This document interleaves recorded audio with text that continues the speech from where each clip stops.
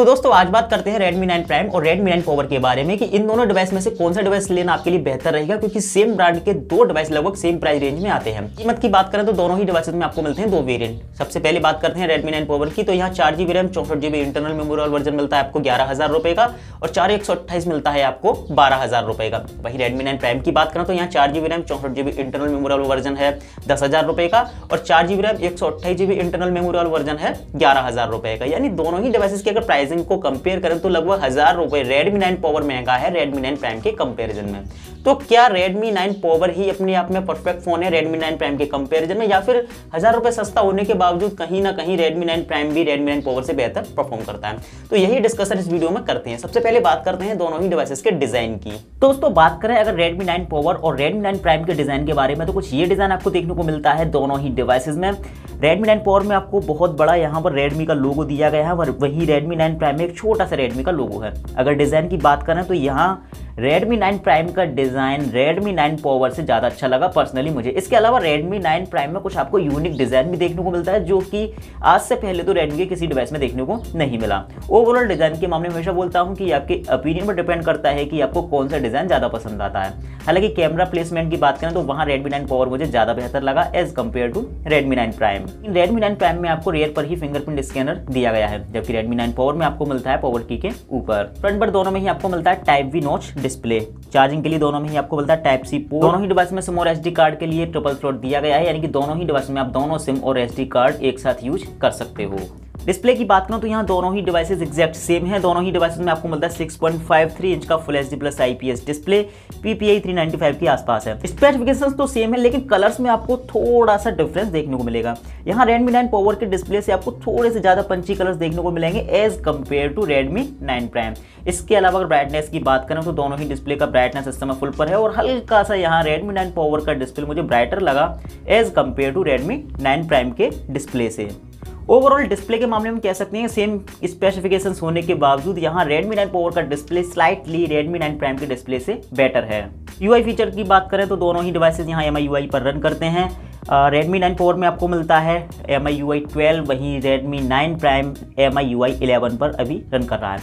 तो future update के बाद दोनों ही डिवाइस के फीचर्स होने जा रहे हैं एग्जैक्ट सेम अभी अगर फीचर्स की बात करें तो कुछ स्पेशल फीचर्स की बात करें तो Redmi 9 Power में आपको मिल जाता है game turbo video tool box floating window light mode और ये सारे फीचर्स आपको Redmi 9 Prime में भी देखने को मिल जाते हैं।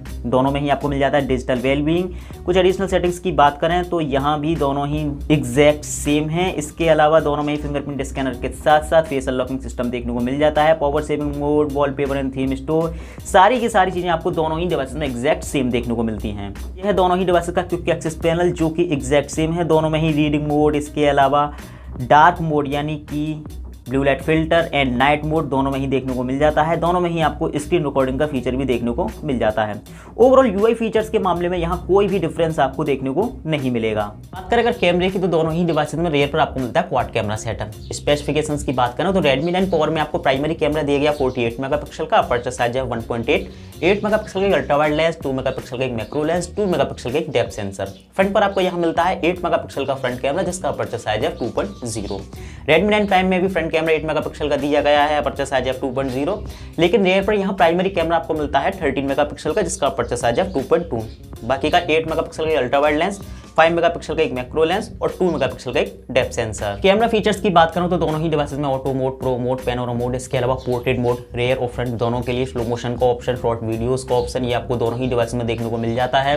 वीडियो रिकॉर्डिंग की बात करूँ तो दोनों ही डिवाइस से आप 30 एफ़ पर फुल एच तक का वीडियो रिकॉर्ड कर सकते हो। 60 एफ़ का सपोर्ट आपको यहाँ देखने को नहीं मिलेगा।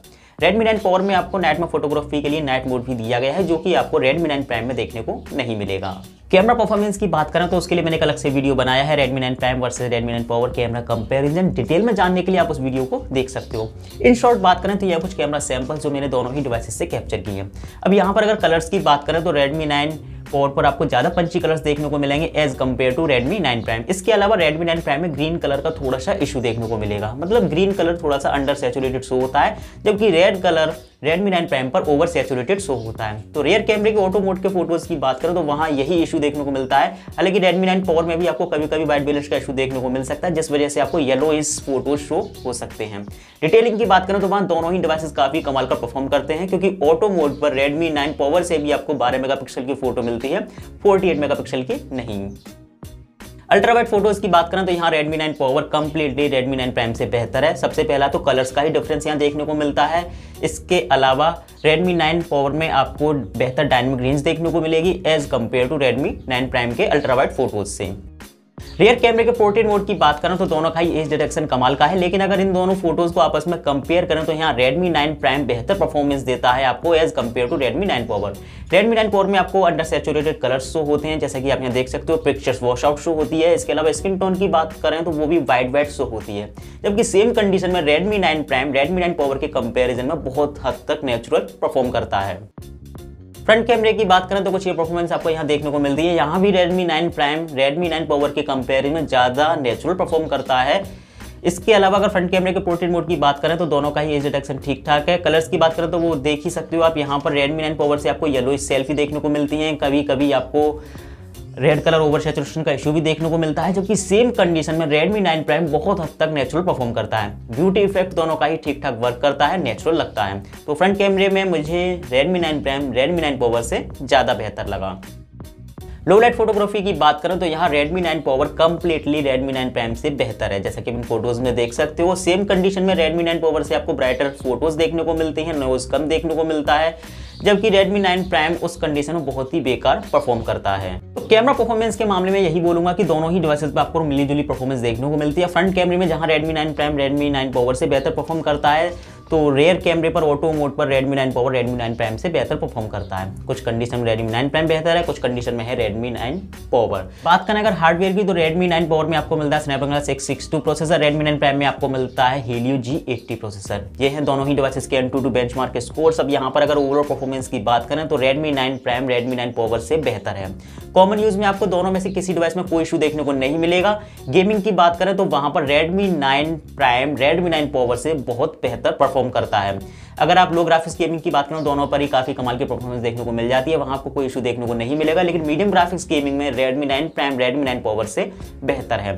मल्टीटास्किंग में भी Redmi 9 Prime, Redmi 9 Power से बेहतर परफॉर्म करता है। हालाँकि स्टोरेज टाइप की बात करें तो वहाँ रीड स्पीड Redmi 9 Power की बेहतर है क्योंकि वहाँ पर आपको मिलता है UFS 2.1 and UFS 2.2 type storage वहीं Redmi 9 Prime में आपको मिलता है eMMC 5.1 टाइप स्टोरेज स्पेशली अगर गेमिंग की बात करें तो वहाँ उस कंडीशन में Redmi 9 Prime बेहतर रहेगा। बाकी का दोनों ही डिवाइसेस कॉमन यूज़र मल्टीटास्किंग में कमाल के हैं। बैटरी की बात करें तो Redmi 9 Power में आपको मिलती है 6000 mAh की बैटरी और Redmi 9 Prime में आपको मिलती है 5020 mAh की बैटरी दोनों ही डिवाइसेस 18 वॉट चार्जिंग सपोर्ट करते हैं। तो दोस्तों, यही था मेरा Redmi 9 Prime और Redmi 9 Power के बीच ओवरऑल फुल कंपेरिजन अब यहाँ पर दो चीज़ें एकदम क्लियर है। अगर आपको गेमिंग के लिए कोई डिवाइस चाहिए तो फिर वहाँ Redmi 9 Prime आपके लिए बेहतर रहेगा। अगर पाँच हज़ार की बैटरी से आपका काम नहीं चलता और कैमरे में आपको बेहतर परफॉर्मेंस चाहिए तो उस कंडीशन में Redmi 9 Power आपके लिए बेहतर रहेगा। तो अपनी यूज़ के अकॉर्डिंग आप यहाँ से खुद डिसाइड कर सकते हो कि कैमरा आपकी फ़र्स्ट प्रायोरिटी है या फिर गेमिंग आपकी फ़र्स्ट प्रायोरिटी है बैटरी पाँच हज़ार की चल जाएगी या नहीं चल पाएगी, उसके अकॉर्डिंग आप यहाँ से खुद डिसाइड कर सकते हो कि आपके लिए इनमें से कौन सा परफेक्ट है। तो दोस्तों, मुझे मेरी वीडियो आपको पसंद आया होगा तो प्लीज़ वीडियो को लाइक चैनल को सब्सक्राइब मेरा नाम है धर्मेश, आप देख लो फ़ोन इन अगले वीडियो में जल्दी ही अपलोड करूँगा, तब तक के लिए गुड बाय आपका दिन शुभ हो।